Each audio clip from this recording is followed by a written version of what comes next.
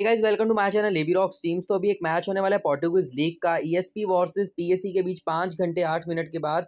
तो बात करें मेरा टेलीग्राम चैनल लिंक है नीचे डिस्क्रिप्शन में। जाओ फटाफट नीचे डिस्क्रिप्शन बॉक्स में लिंक पर करो क्लिक एंड ज्वाइन हो जाओ और गाइज़ हम इस वीडियो के अंदर किसी भी तरह की चीज़ को पुस्तायत नहीं कर रहे। वीडियो बहुत ही ज़्यादा सेफ़ और नॉलेजेबल है।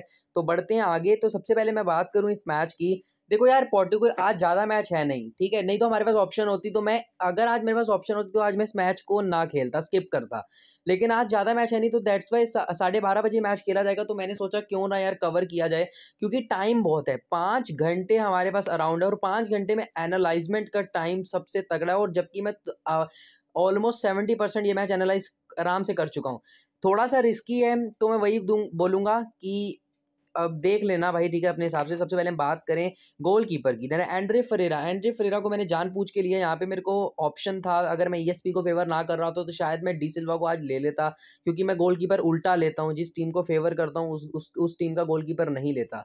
आगे से बात करें नेक्स्ट प्लेयर की। देन यहाँ पर है विटोरिनो एंटून्स मैं आपको एक बात बताता हूँ एंटून्स और एक इनका प्लेयर आ गया मार्को ठीक है? मार्को के बाद इनका प्लेयर आता है जॉब्सन और जॉब्सन के बाद इनका एक प्लेयर है आपके सामने फर्नैंडो फोसेंको ये चारों इनके मेन डिफेंडर है। मतलब अगर हम मेन की बात करें तो ये चारों मेन है। अगर ये नहीं खेलते तो हम इसकी जगह बदल सकते हैं। हमारे पास क्रेडिट बचने का एक ऑप्शन हो जाएगा।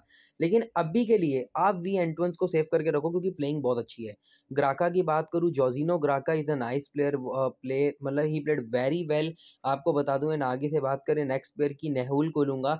नहाहुल जो कि लास्ट मैच नहीं खेला था, पर मैं चाहता हूँ आज का मैच खिलवाना चाहिए। सेकेंड डिफेंडिंग के ऑप्शन खत्म कर रहे हैं लोग गाइज़ पी विलियम को अगर मैं लेता हूँ तो मेरे को भी रिस्क लगता है, तभी मैंने कहा इसको ले लेते हैं आगे से बात करें सौर्या की, इसको ज़रूर लेना। ये फोर्थ डिफेंडिंग में कैरलिस सौर्या था मेन प्लेयर। लास्ट मैच में मैं अपनी बात एक्सपेक्ट कर अपनी बात मान, एक्सेप्ट कर रहा हूँ कि यहाँ पर ये प्लेयर बहुत जल्दी सब्सिट्यूट हुआ था। इस बात को मैं भी कह रहा हूँ, ये मेरे को भी गलत चीज़ लगी कि बीच मैच में तिहत्तर मिनट में इसको सब्सिट्यूट कर दिया। लेकिन हमें क्या पता भाई कि उसको ऑन मैच में इंजरी हुई हो बेचारे को? आपको कैसे मालूम, ठीक है? हम तो बोल देते हैं, जो वो कर दिया सब्सिट्यूट कर दिया, लेकिन आज पता चलेगा, अभी तक इंजरी रिपोर्ट नहीं आई, नहीं तो मैं आपको पहले ही बताता। आगे से बात करें फ्रैंको की, देखो फ्रैंको को ड्रॉप मत करना, दो बार से फ्लॉप जा रहे हैं, लेकिन ये पूरे सीज़न सबसे हिट प्लेयर है। इस सेकंड नंबर पे सबसे ज़्यादा गोल करने का रिकॉर्ड ईएसपी की तरफ़ से है इस प्लेयर का ESP team and A Gomes की बात करें आर्थर गॉम्स लोरेंसो सबसे तगड़ा स्ट्राइकर है ये। ये मिडफील्डर नहीं है भाई, ये स्ट्राइकिंग करेगा, ठीक है? मैं आपको जितना हद तक बता रहा हूँ, आप समझिए। अब आप सोच रहे होंगे, मैंने यहाँ पे एक प्लेयर है एन सेंटोस इसको लिया नहीं। He was not playing from last one two matches तो देखते हैं, इसकी जगह अभी कार्लोस को ले लिया। कार्लोस कुछ खास नहीं है चांस क्रिएटर होता है, तब भी मैं ले लेता, तब भी मैं कुछ एक्सपेक्ट करता, लेकिन क्या एक्सपेक्ट करूँ यार? गोल तो बड़ी दूर की बात है, या मैं असिस्ट नहीं एक्सेप्ट मतलब कर पा रहा? है ना, आगे से बात करें डी परेरा की देन डी परेरा जो कि आपके सामने D Pereira junior last match में एसएनटी के खिलाफ दो गोल किए थे। हैट्रिक होने लगी थी इस बंदे की, बेचारे की रह गई। एंड उल्टन की बात करें जॉस उल्टन काफ़ी बढ़िया प्लेयर है। अब यहाँ पे कन्फ्यूज़न शुरू होती है कि R Fonte R Fonte is the main player मैं आपको साफ़ बता दूँ, ये ईएसपी टीम का पेनल्टी टेकर है। मत छोड़ना।